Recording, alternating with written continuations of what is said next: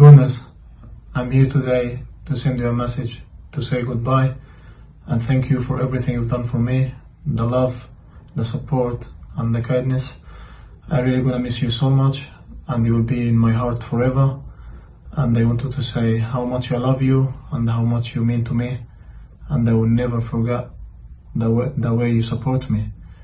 And I'm gonna see you on Sunday at Emirates Stadium to say goodbye face to face. See you, Gunners.